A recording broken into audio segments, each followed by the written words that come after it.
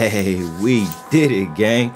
We liberated Tien Kwan and we got our mech suits. Let's go, Hell Divers in the building. Yes, sir. The Patriot mech suit is the newest addition to the Helldiver arsenal and it is truly a dope mech suit, man. The EXO-45 exosuit definitely stands on business and it definitely looks like it was mass produced to spread some massive democracy. I have to say, the Patriot is powerful, but it's balanced and that's good. The rockets pack a punch, but they are limited. It's not just a nuke machine. The Gatling gun has a thousand rounds and is strong, but it's not OP. Keep it a buck, a thousand rounds is actually is not as much as you think it might be. But even with that being said, we have no problem racking up 40 kills.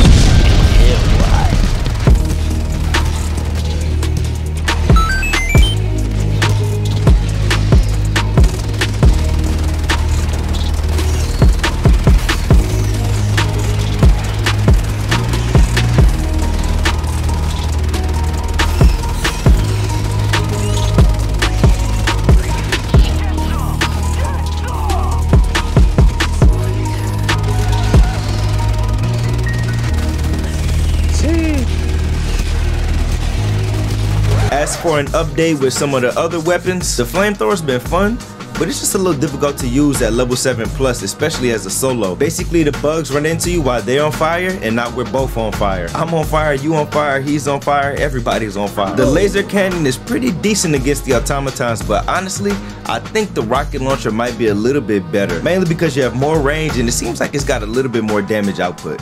Whereas the laser cannon, the damage scales up, the rocket does burst damage. Alright my fellow hell divers. hope this video helped you out.